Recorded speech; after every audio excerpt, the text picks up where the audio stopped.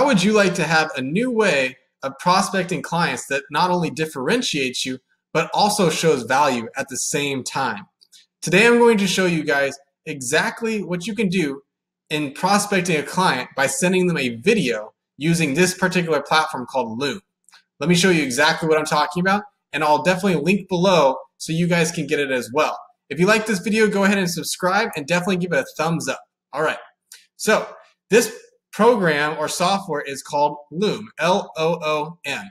And what it allows you to do is screen share while doing a video, as you guys can see down here in the right-hand corner, me. Um, you can adjust the, the video size to make it smaller. You can make it bigger. But this is awesome because you can send them a link that's customized to them so you can see when they view it. Um, they can also leave comments on it. And you know if they find it valuable because you just simply ask them in the video, hey, like, is this something that's valuable? Simply reply this email with a yes or a no. And if they reply with a yes, fantastic. You guys can move on to the next step of actually talking to them over the phone. So here's how I break it down. What I do is I always start off with having their uh, website open in the background. So that way, when the thumbnail is placed in the email, they can see that it's their website. It also will have an image of you in the bottom right hand corner here. And then I simply open with like, uh, hi, my name is Greg and I'm looking to see if I could help you get more customers to your restaurant. Um, obviously, this isn't my niche, so uh, it's a little bit more fine tuned. But what you do is you go and look for people that are already doing marketing. So if you Google restaurant in Anaheim, you'll get a ton of different um, Google ads. So as you can see here, this is the one I'm selecting, which is Organic Vegan Bowls True Season Kitchen. The reason why this is so important is because if this restaurant's already spending money on advertising, they know that it's important to market their business, right? Google AdWords is also more expensive than Facebook ads because it depends on the clicks, right? Some some keywords are more expensive than others, so their costs can be varying, but this shows that they see the value of it. So I always start with the website and then I go right to here to show them that I found their Google ad. That way they know exactly how I found it, which is restaurant in Anaheim, right? So after analyzing their website, you can do a walkthrough of uh, what it looks like, the feel of it, uh, just your overall critique of it, right? You can see that they have these different images here, and then they have social links down here at the bottom, and they also have them squeezed in right here. I didn't even see them the first time when I scrolled past it. But the other key part is this. So you need these two Chrome extensions, and I'll add these in the bottom of the description. That way you know exactly which ones to get. But the two that I use are the Google Tag Manager or a tag assistant, sorry. And what it shows is all the different tags that are on the website. So you can see here they have Google Analytics installed. They have Google Analytics installed twice. So they have another one that's, uh, but it's not working properly. They also have Google Tag Manager. But the thing that they're missing is the remarketing tag. So if they have a Google AdWords and somebody lands on their website, they don't have anything that's going to remarket them. So they don't have anything that's going to show like a display ad if they're on another website.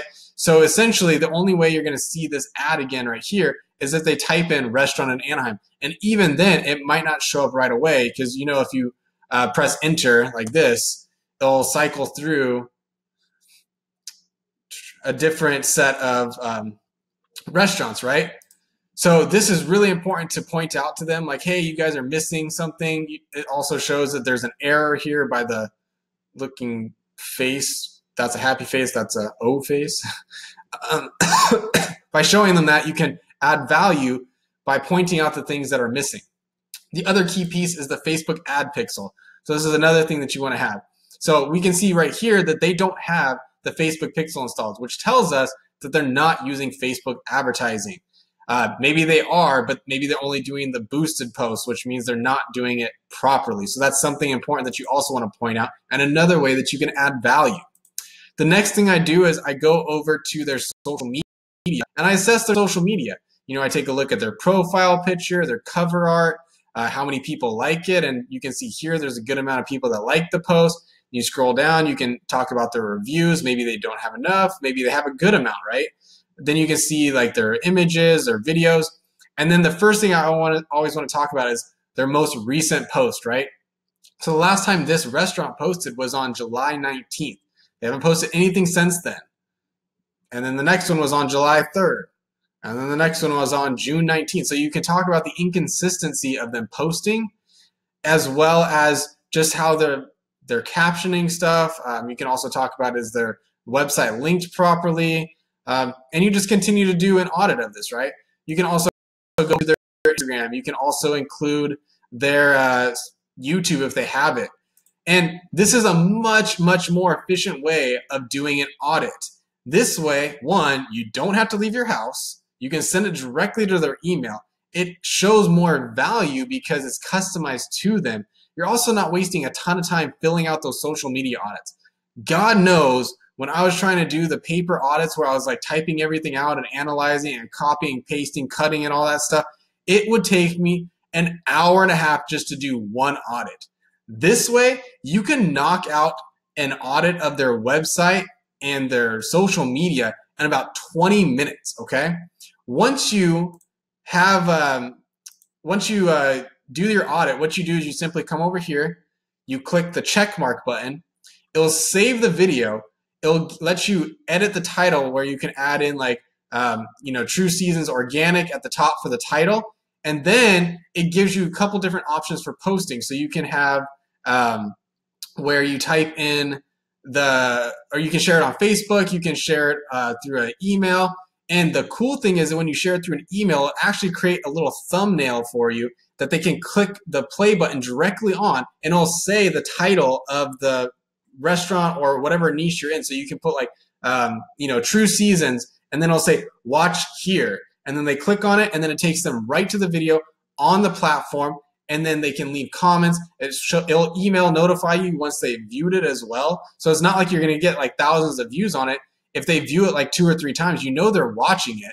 And then if they don't reply to you, you can simply send another email or call them and say, hey, like I sent you this custom uh, video the other day. Just wanted to get your feedback and see what you thought about it. This is by far the coolest thing that I've seen. I mean, I know there's a ton of other screen share options out there that you can use, but this one seems to be the easiest and it's free. That's the best part. It's free. You don't have to pay for anything and you can get unlimited videos. It, um, when you first sign up, it limits you to 10 minutes. But then after that, like once you unlock the other features, then you can get it for as many minutes as you want. But if you guys love this video, definitely go ahead and subscribe to this. And I would love a thumbs up. Uh, like I said below, I'll include the link so you guys can get your own uh, Zoom or sorry Loom platform, and then I'll also include the links for the other extensions that you need to have installed on your Chrome bar. That way you can really show value. So thanks for watching, guys, and talk to you soon.